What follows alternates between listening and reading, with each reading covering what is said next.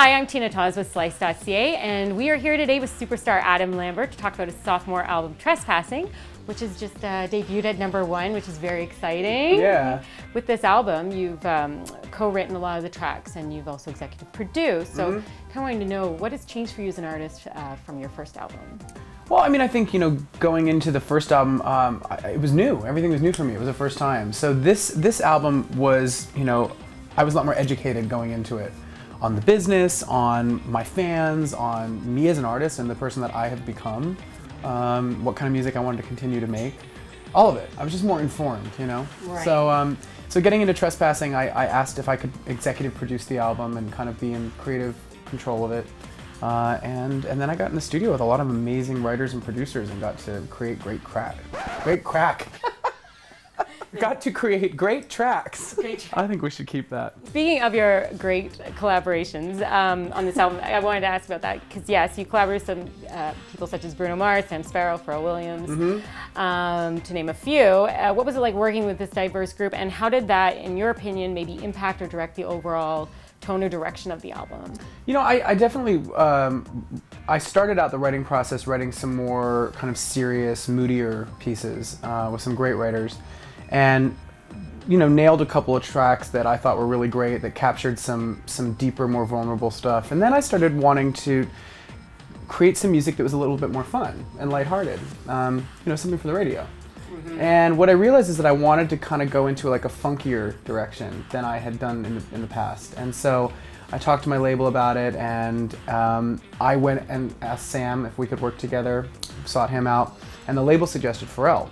And I said, okay, yeah, that sounds like a good a good combo, a good uh, a, good direction to move into. Having such a creative role and putting so much of yourself into the, this, um, were there any moments in the process that might have been emotionally challenging or There were, I mean, there are definitely a few songs in the album that def- that, that, that dig deep. You know, they scratch the surface. They, they scratch past the surface, and they kind of like, yeah, there were Yeah. lyrics in there that were like, whoa, you know, Yeah. Mm-hmm. for sure. There's a song underneath that's really personal.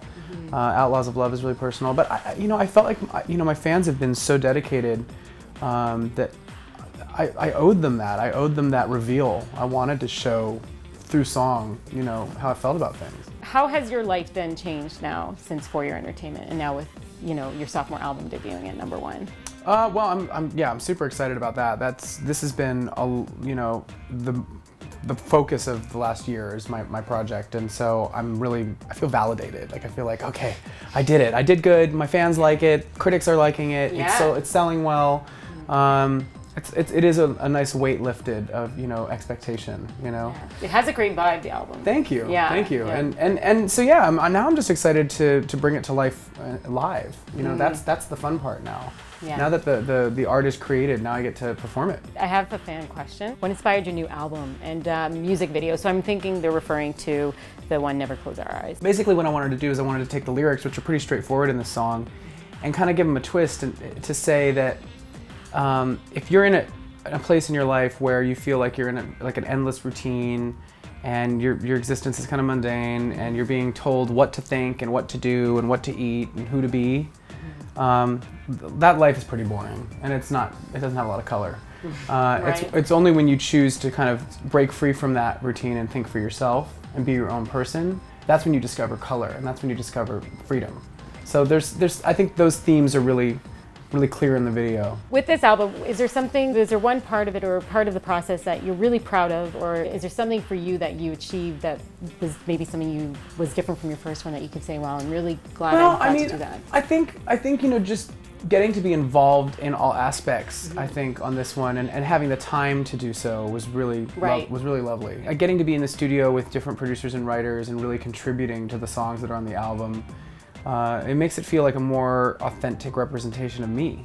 Right. You know, so if, if you're a fan and you buy that, this this album, Trespassing, you're really you're you're, you're hearing me Yeah. you know, and this is my life, and everything is very honest on the album. Everything is every song is saying something. Yeah. Whether it's fun and, and kind of sassy, or if it's a little more serious, like there- it's all very honest.